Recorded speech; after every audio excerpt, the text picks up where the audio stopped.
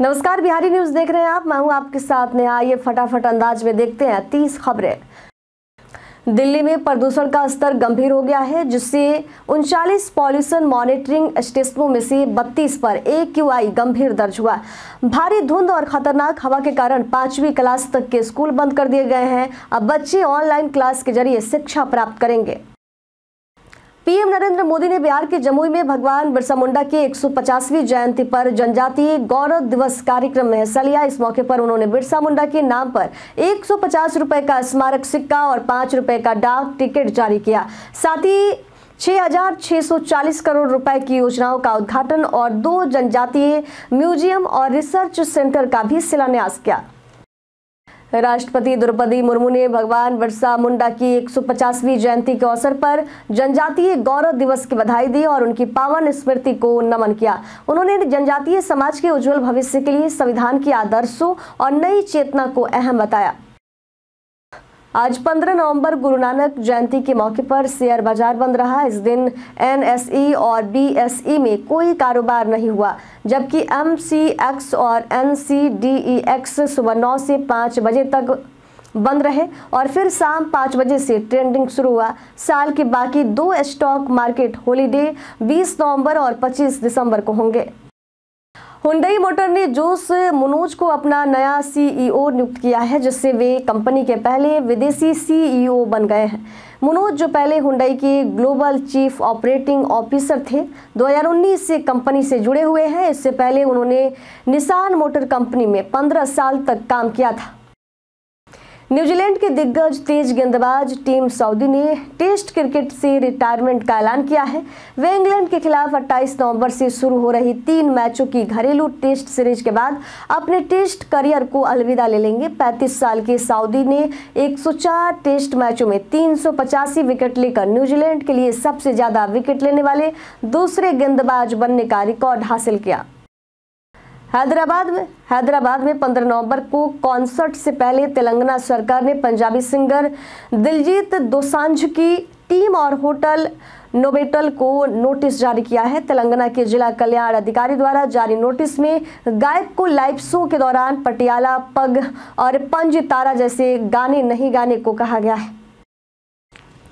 भारत ने डीआरडीओ द्वारा विकसित गाइडेड पिनाक वेपन सिस्टम का सफल परीक्षण किया। यह सिस्टम 40 सेकेंड में 12 रॉकेट दागने की क्षमता रखता है और एक साथ कई लक्ष्यों पर सटीक हमला कर सकता है। रक्षा मंत्रालय के अनुसार तीन अलग अलग स्थानों पर 24 रॉकेट दागे गए, जो सभी अपने लक्ष्यों को सफलतापूर्वक भेदने में सक्षम रहे।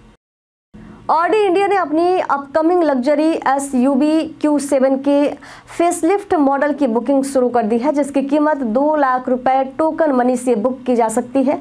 ये कार 28 नवंबर को भारतीय बाज़ार में लॉन्च होगी और Mercedes Benz G L E बोल्बो X C nine zero और B M W X five से मुकाबला करेगी। बिहार सरकार ने अगले साल विधानसभा चुनाव से पहले पटना में मेट्रो ट्रेन चलाने का फैसला लिया है। इसके लिए कैबिनेट से 115 करोड़ रुपए की मंजूरी मिली है, जिसमें 33 करोड़ रुपए की लागत से एक ट्रेन खरीदी जाएगी। प्राथमिक कॉरिडोर पर ट्रैक बिछाने का काम शुरू कर दिया गया है और बाद में जायका से कर्ज लेने पर यह राशि वापस मिल जाएगी।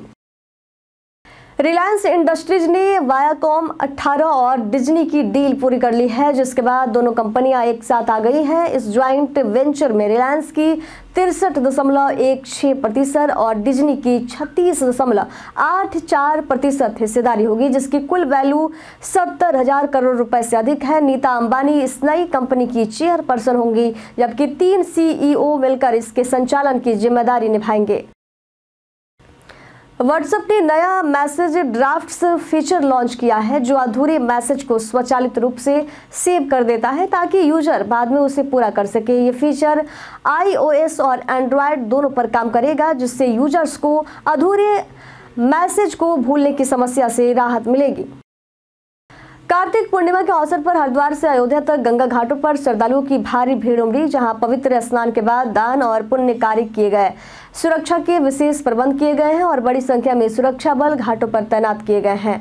मान्यता के अनुसार आज के दिन गंगा स्नान से पूरे महीने का पुण्य प्राप्त होता है। शेयर बाज़ार के साथ साथ सोने की कीमतों में भी गिरावट जारी है। एक नवंबर से अब तक 24 कैरेट सोने की कीमत में पाँच हज़ार रुपए से अधिक की कमी आई है। गुरुवार को एमसीएक्स पर 10 ग्राम 24 कैरेट सोने में सात सौ रुपए से ज़्यादा की गिरावट देखने को मिली। एफ़ वाई दो के लिए ऑडिट की ज़रूरत वाले कारपोरेट्स और टैक्स पेयर्स के लिए आईटीआर फाइलिंग की आखिरी तारीख 15 नवंबर 2024 तय की गई है। पहले ये डेडलाइन 31 अक्टूबर 2024 थी, जिसे बढ़ा दिया गया था। टैक्स ऑडिट रिपोर्ट, आईटीआर से मेल खाना चाहिए और आईटीआर फ़ाइल करने से पहले रिपोर्ट जमा करना अनिवार्य है। उत्तर प्रदेश लोक सेवा आयोग ने छात्रों के प्रदर्शन के बाद अपना फैसला वापस ले लिया है। अब यूपीएससी की परीक्षा एक दिन और एक शिफ्ट में होगी। इसके अलावा R O A R O परीक्षा के लिए एक कमेटी बनाई गई है। एनसीआरटीसी ने नमो भारत शॉर्ट फ़िल्म मेकिंग प्रतियोगिता की घोषणा की है, जिसमें फ़िल्म और कंटेंट क्रिएटर्स एक दशमलव पाँच लाख रुपए तक के पुरस्कार जीत सकते हैं। प्रतियोगिता में भाग लेने के लिए प्रतिभागियों को नई नमो भारत ट्रेन और आरआरटीएस स्टेशन की शॉर्ट फ़िल्म या रील बनानी हो या रील बनानी होगी। सबमिशन की आखिरी तारीख जो है 20 दिसंबर 2024 है और वीडियो एम या एम फॉर्मेट में जमा करनी होगी। भारतीय स्टेट बैंक ने 15 नवंबर 2024 से अपने कर्जों पर ब्याज दरों में पाँच बेसिस पॉइंट्स तक की बढ़ोतरी की है। अब तीन महीने, छह महीने और एक साल के एम सी एल आर की दरें क्रमशः आठ दशमलव पाँच पाँच प्रतिशत, आठ दशमलव नौ शून्य प्रतिशत और नौ प्रतिशत हो गई है। इस बढ़ोतरी से home loan, car loan, education loan और पर्सनल लोन की ईएमआई में इजाफा होगा। केरल सरकार ने जुलाई में वायनाड में हुए भूस्खलन और बाढ़ को राष्ट्रीय आपदा घोषित करने की मांग की, लेकिन केंद्र ने इसे अस्वीकार कर दिया। केंद्रीय गृह राज्य मंत्री नित्यानंद राय ने बताया कि एसडीआरएफ और एनडीआरएफ के दिशा निर्देशों के तहत इसे राष्ट्रीय आपदा नहीं माना जा सकता। क्रिसिल के रिपोर्ट के अनुसार भारत की इकोनॉमी 2031 तक 7 ट्रिलियन डॉलर तक पहुँचने की उम्मीद है, जबकि देश की जीडीपी की औसत वार्षिक वृद्धि दर 6.7 प्रतिशत रहने का अनुमान है। रिपोर्ट में बताया गया है कि वित्त वर्ष 2025-31 के दौरान महामारी से पहले की दशक की औसत विकास दर 6.6 प्रतिशत जैसी बनी रहेगी। इंडियन बैंक ने फाइनेंशियल लिटरेसी काउंसलर के पदों के लिए भर्ती निकाली है, जिसके लिए आवेदन प्रक्रिया शुरू हो चुकी है। इच्छुक उम्मीदवार 30 नवंबर तक आवेदन कर सकते हैं और और अधिकतम आयु सीमा अड़सठ वर्ष निर्धारित की गई है। योग्य उम्मीदवार बैंक की आधिकारिक website Indian Bank dot in पर जाकर आवेदन कर सकते हैं। हैदराबाद स्थित आर आई एस एल की सहायक कंपनी रिस्टनेबिलिटी इंटरनेशनल ने सिंगापुर के प्रमुख अपशिष्ट प्रबंधन company G three Environmental Private Limited का अधिग्रहण किया। इस अधिग्रहण से कंपनी की वैश्विक अपशिष्ट प्रबंधन क्षमता को और मजबूती मिलेगी। प्रधानमंत्री नरेंद्र मोदी 13 दिसंबर को प्रयागराज पहुँचेंगे और महाकुंभ से पहले 6,500 करोड़ रुपए की 150 से अधिक परियोजनाओं का उद्घाटन करेंगे। इस दौरान वे करीब चार घंटे शहर में रहेंगे। मेलाधिकारी विजय किरण आनंद ने इसकी जानकारी दी। कांग्रेस नेता राहुल गांधी ने गोड्डा में जनसभा को संबोधित करते हुए प्रधानमंत्री नरेंद्र मोदी पर निशाना साधा। उन्होंने आरोप लगाया कि मोदी अरबपतियों के हितों की सेवा कर रही है और उनके कर्ज माफ़ कर दिए। जबकि किसानों को कोई राहत नहीं मिली। राहुल गांधी ने कहा कि कांग्रेस पार्टी मोदी से डरती नहीं है। राजस्थान के देवली उनियारा उपचुनाव में निर्दलीय प्रत्याशी नरेश मीणा द्वारा एसडीएम को थप्पड़ मारने के मामले ने तुल पकड़ लिया है। इस घटना के बाद प्रदेश भर के आरएसएस अधिकारी मुख्यमंत्री भजन लाल शर्मा से मिले और एम्प्लॉयज़ प्रोटेक्शन एक्ट लागू करने की मांग की। चर्चा है कि राजस्थान में जल्द ही ये एक्ट लागू किया जा सकता है। उत्तर प्रदेश लोक सेवा आयोग ने पीसीएस 2024 की प्रारंभिक परीक्षा की तारीख बदल दी है। अब ये परीक्षा 22 दिसंबर को एक ही दिन आयोजित होगी, जिसमें दो पाली होंगी। सात और आठ दिसंबर को होने वाली परीक्षा को टालने का निर्णय छात्र आंदोलन के कारण लिया गया है।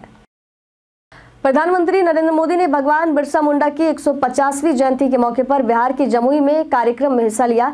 इस अवसर पर केंद्रीय मंत्री मनोहर लाल ने ऐलान किया कि दिल्ली के सराय काले खां आईएसबीटी चौक का नाम बदलकर बिरसा मुंडा चौक रखा जाएगा। जनजातीय गौरव दिवस के रूप में ये आयोजन पूरे देश में धूमधाम से मनाया जा रहा है।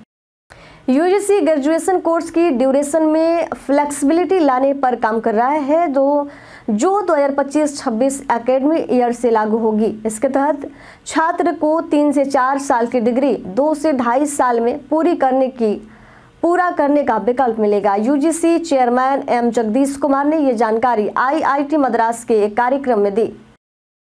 आज के लिए बस इतना ही। कल जिन लोगों ने हमारे सवाल का जवाब दिया था, उनके नाम है मोहम्मद साकिर हुसैन, दीपक कुमार, छोटू रजा, सपना कुमारी, सिंधु कुमार दिलखुश ओमकार सिंह, राम बाबू दास, मोहम्मद इरफान, कामेश्वर सिंह। अब बढ़ते आज के सवाल की ओर। आज का सवाल है, पति और पत्नी दोनों के नौकरी में व्यस्त होने के कारण बच्चों की देखभाल में कोई समस्या आती है? इसका जवाब आप कमेंट में ज़रूर बताइएगा। आज के लिए इतना ही। धन्यवाद।